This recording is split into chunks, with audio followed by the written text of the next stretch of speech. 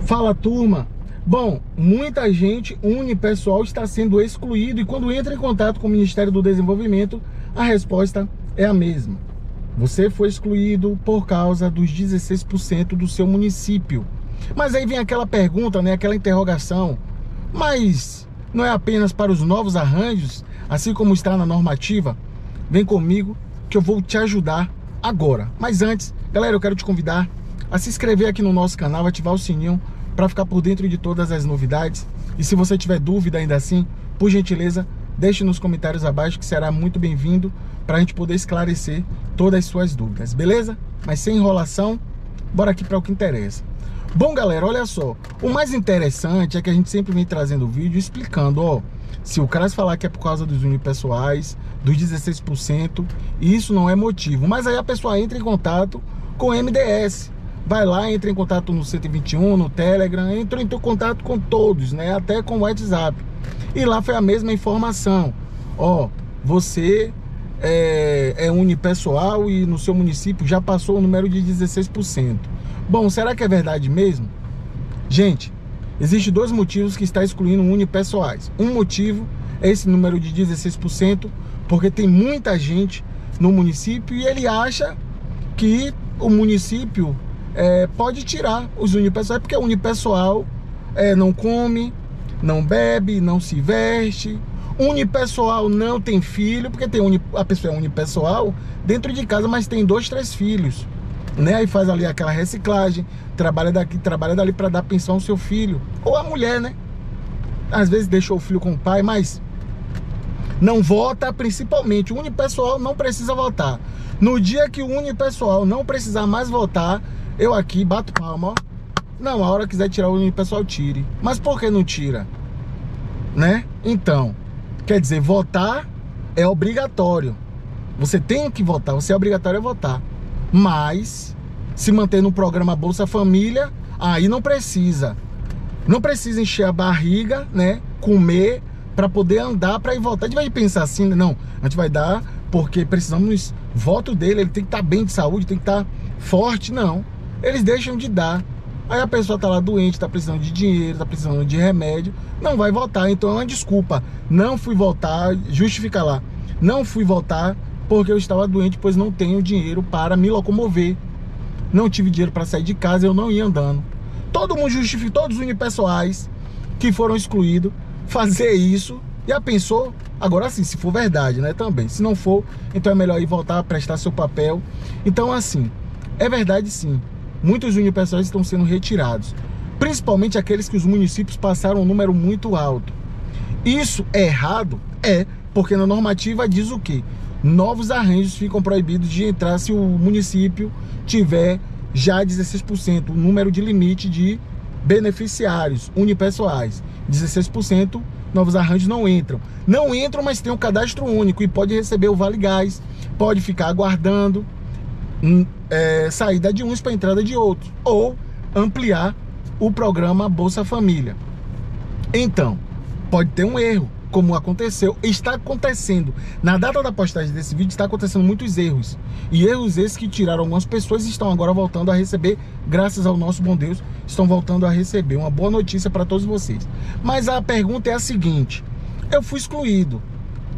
É um, gente, é uma justiça que você vai entrar que é causa ganha. Você não precisa, você só precisa ler de um advogado, que é o defensor público, e é gratuito. Porque assim, a normativa ela deixa clara o número de 16% para novos arranjos. Então não se aplica a você. Se o CRAS falou que é por causa dos unipessoais, você entrou em contato, entra em contato primeiro com o Ministério do Desenvolvimento. A gente trouxe já uma fala de uma escrita aqui que foi o seguinte: lá mostrava uma outra situação. Ela não queria ver, eu não sei o que foi que aconteceu. Ou ela não queria ver, ou ela não olhou a, a pendência oculta que tinha. E aí o que acontece? Ó, oh, você foi excluído por causa dos unipessoais, não achou nada aí você foi excluído por causa dos unipessoais, provavelmente. E aí foi para casa. Chegou lá, entrou em contato com o MDS, o MDS, ó, oh, você foi excluída, e pronto. Desligou. Ele ligou para outro, ligou. No último falou, ó, oh, você foi excluída, você está cancelada, porque você está com a pendência. Ah, mas a pendência dos unipessoais não era para novos arranjos? Aí o atendente, luz, iluminado demais, um atendente desse. Mas A sua pendência, só quem tira é o gestor, porque a sua pendência é por quantidade de pessoas. Um erro de digitação fez aquela pessoa sair, aquela escrita sair, tá? Então, de vez de colocar lá, tem a opção. Tem umas opções, né? Número de pessoas na casa. Ela botou dois. Porque tem você e você, né? Quem abre o cadastro único é unipessoal, vê lá. É, grupo familiar, tem um nome embaixo, tem outro. Ela aí colocou dois. Só que morava um. E aí deu o cruzamento. E agora vai ter muitos erros desses, cruzamentos desses, que já está a todo vapor ser, porque a gente já falou aqui é, no canal, tá? Que o Wellington Dias, o ministro Wellington Dias, ele já informou que vai ter uma análise, um pente fino muito bom com esse equipamento, que o governo agora já tinha, mas entrou o Ministério do Desenvolvimento.